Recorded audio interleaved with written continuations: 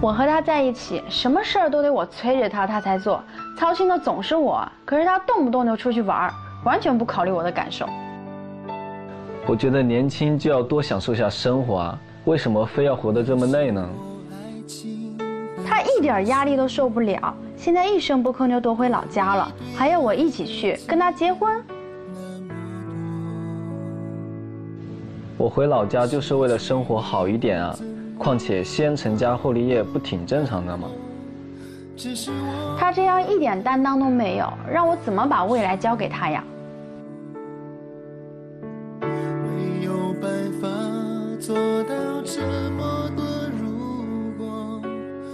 你没有担当，我哪里有未来？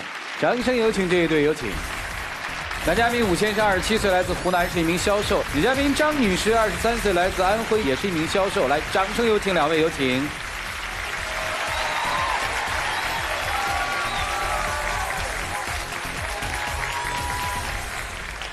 欢迎两位哈，是吧？是的。想分手哈？是真想分哈？已经分手了。哦，已经分手了。分了多久了？分了有快一个月了。那今天是你把人拉来的是吧？嗯，是的。求复合是吧？对。啊，谈了多久恋爱？一年左右。小片里说他跑回老家，这老家是指哪儿啊？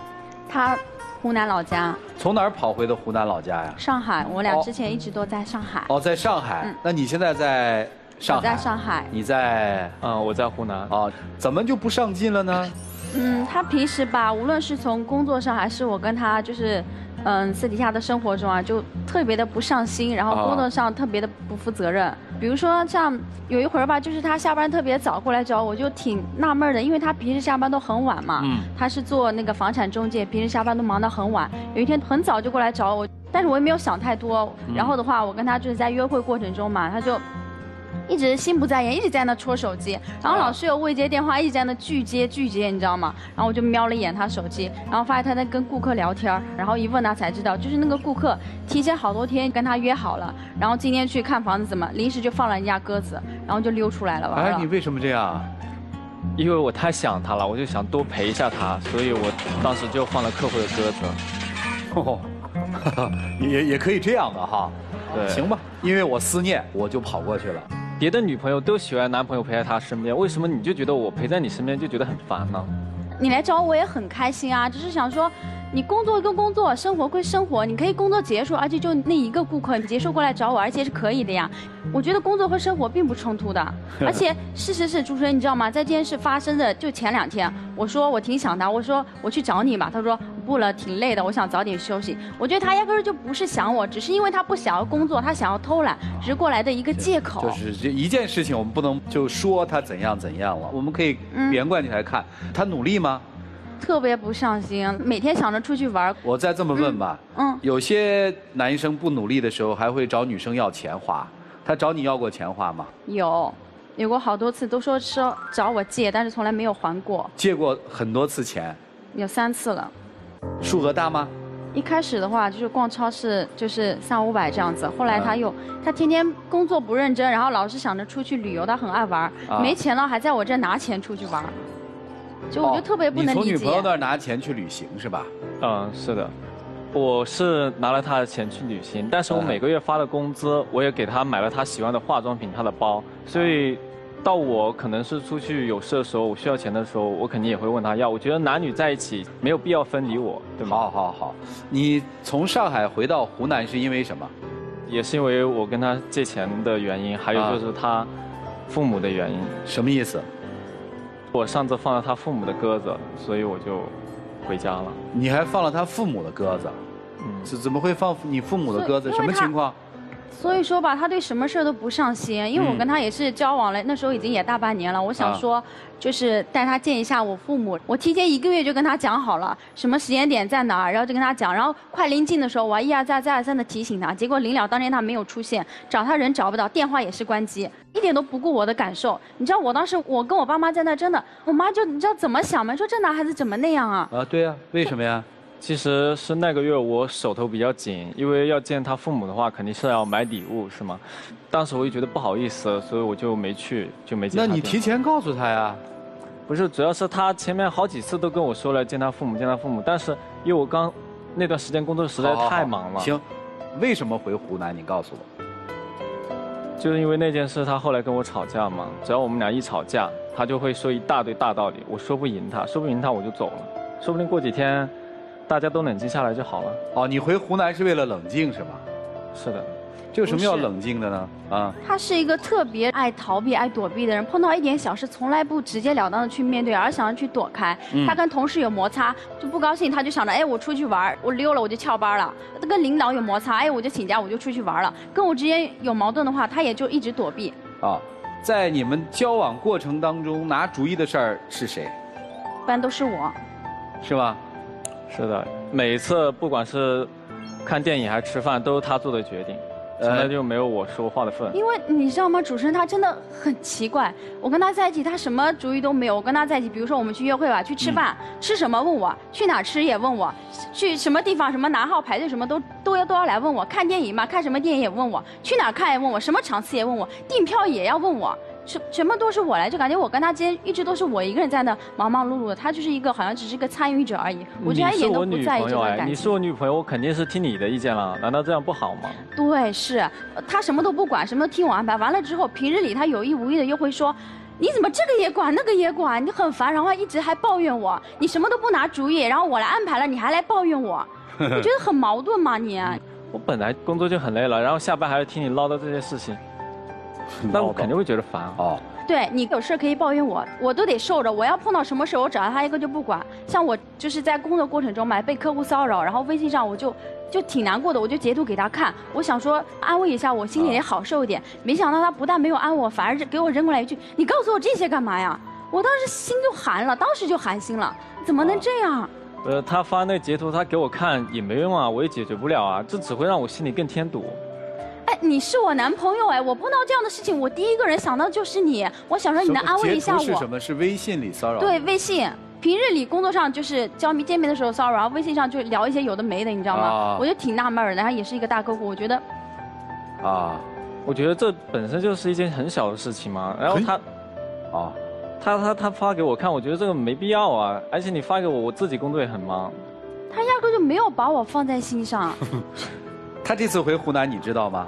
他跟我一声没商量又躲开了，直接一声不吭就回老家。回去之后我才知道，我当时跟他讲的非常清楚，咱俩就分手吧。哦，他就跟他回了湖南，你跟他说分手，回湖南的理由他跟你说了吗？没有，到底为什么？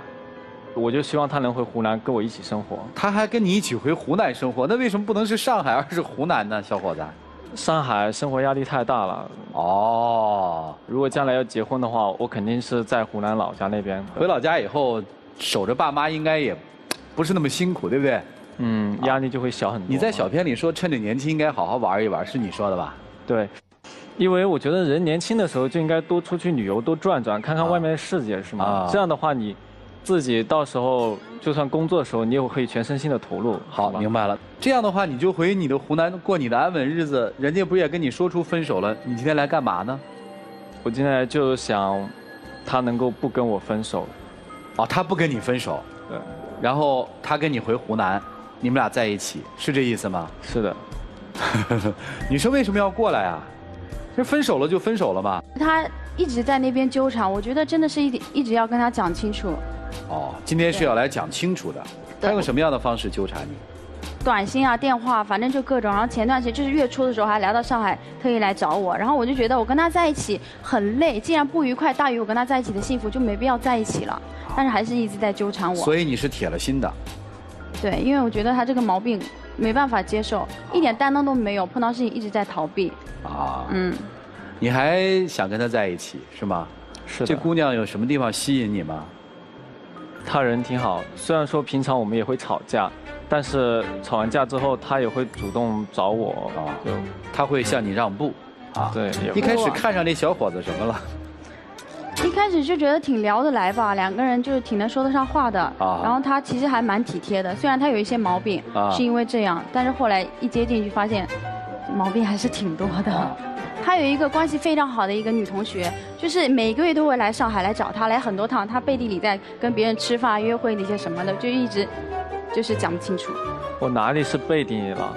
我那个女同学，她在上海又没有其他的朋友，所以他来上海出差肯定就找我，我肯定要招待他。前面几次吃饭我都叫了你了，但是你总是摆着脸给别人不好的脸色，那后面几次吃饭我肯定就不叫你了。不是啊，那你也看看当时的状况呀。那女孩她摆明就是喜欢你，她要追你，想要跟你在一起。那我是你的女朋友，你又不跟她解释清楚，那我怎么做得下去啊？那饭我怎么吃得下去啊？我在你们中间就是妨碍你们呀。你也知道你是我女朋友啊，但是你不能因为你是我女朋友就不允许我跟其他异性朋友有接触吧？你当然可以有其他异性朋友，我不反对啊，可以啊。但是你也要看情况啊。你是有女朋友的人，她喜欢你，你还跟她一起吃饭去逛街，什么意思呢？不清不楚的。哪里不清楚？他就是这样子，包括平时我跟他今天商量什么事儿，他老是会给出一些模棱两可的答案。所以女生用连续的这种逻辑性的东西，就告诉大家我为什么分手。男生说我没有啊，我不是这样的呀。老师们怎么看呢？一起进入丘比特问卷。嗯，整个故事听下来哈，男生，你给我的感觉就是你的人生就是大。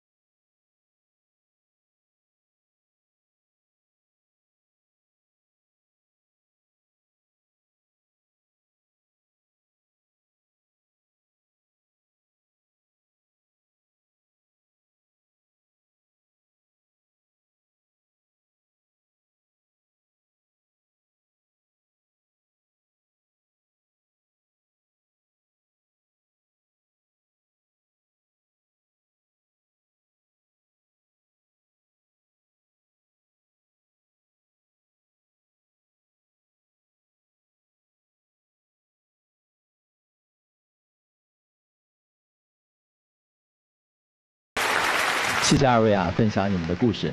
其实男孩在整个描述的过程中，我个人的简单的判断，综合你们刚才的表述，我觉得对待工作、对待事业、对待自己的这个爱情，男孩多半有一点点不太负责任，啊，比较小自我。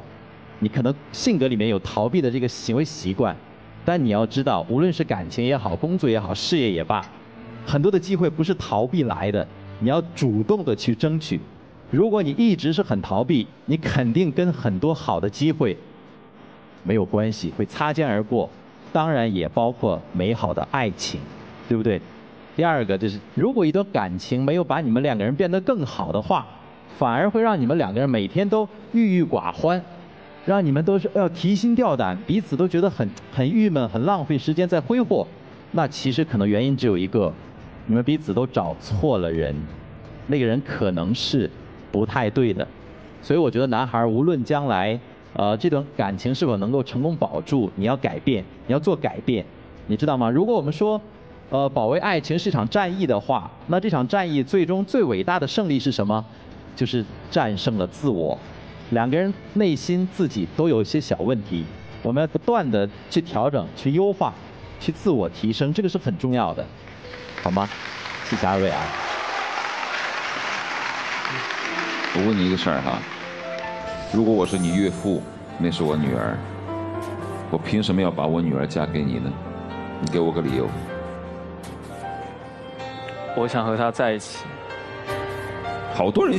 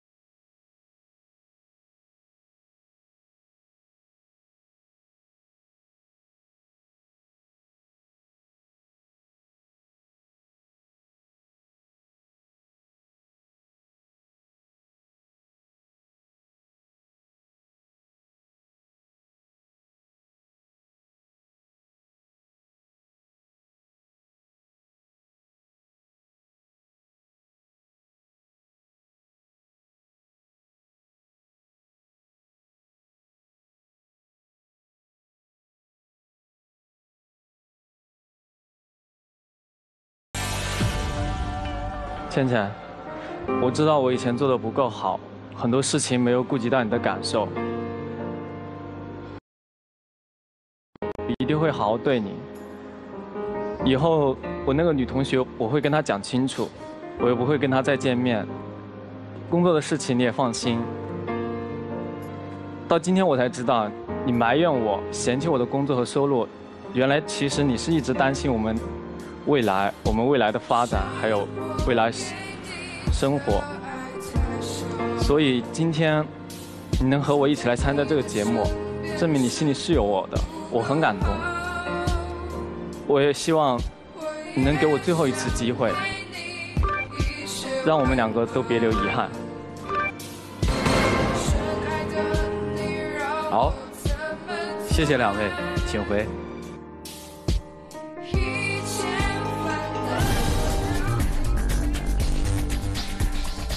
来，请关门。电视机前的观众朋友们，欢迎大家登录优酷网、腾讯视频、搜狐视频、爱奇艺、乐视视频、PPT 剧力。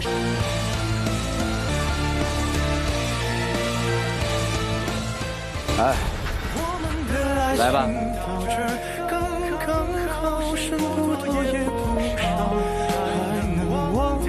还有话跟人家说吗？